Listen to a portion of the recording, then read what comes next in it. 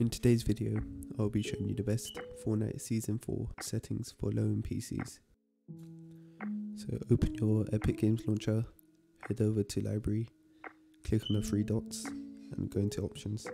Make sure you untick all of them except for the first one. So the next thing we want to do is create a stretched resolution. So to do that, you have to open NVIDIA control panel. Now head over to customize and put a resolution in. I'll show you a bunch of resolutions that I would recommend using.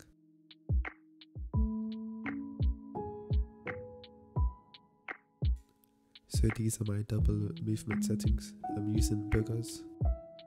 If you head over to the Keys to X website, you can also choose different pro settings. So right now, I'm using the stretch resolution. For the colorblind mode, I just set it off and I put everything else on low and I'm also on performance mode.